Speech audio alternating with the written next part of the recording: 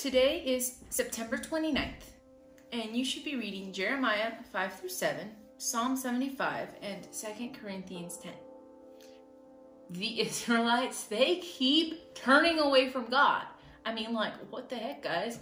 They they keep choosing to not follow God. And God, however, keeps sending prophets, keeps sending people to tell them what's coming, to warn them, because God loves them and He's trying to help them. He has to send this punishment and He knows it, but He's He's trying to give these guys a chance to turn around, to repent, to choose to start following Him again. But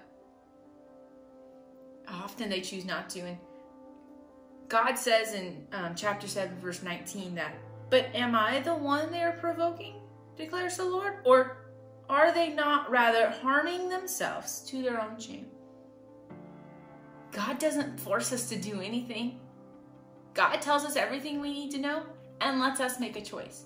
We know that when we choose not to follow Him and to reject Him, that there will be consequences, and the punishment for that is death.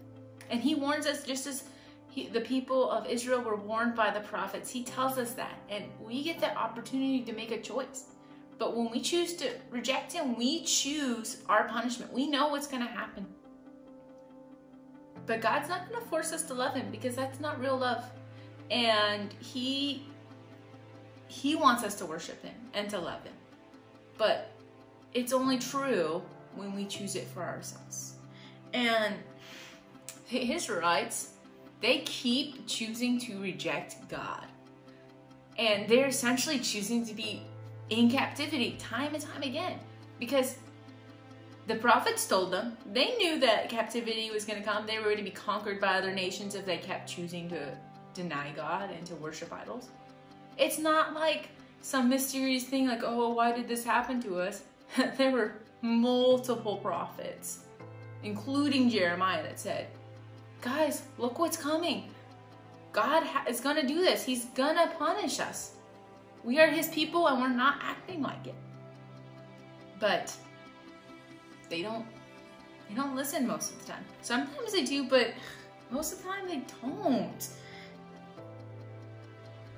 God cares though. I mean, why else would he send the prophets? Why else would he tell them? I mean, if he didn't care, I mean, he'd just do whatever he wants. But he cares about us and he loves us. I mean, we see that in Jesus and his sacrifice. And I want you guys to think about that and think about how he cares about us so much. He he warns us and he tells us. We have the Bible. We have that and we know what's going to happen. We know that when we choose to reject Jesus and to reject God, that there's punishment for that. But we also know when we choose to follow him, um, there's so many blessings and our reward is being in the presence of God.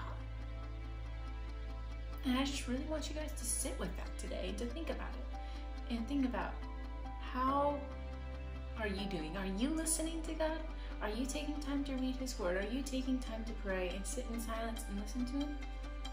Or are you ignoring Him? And are you putting other things like money, power, control, things in front of Him? And are you actually worshiping those instead? So I leave you with that.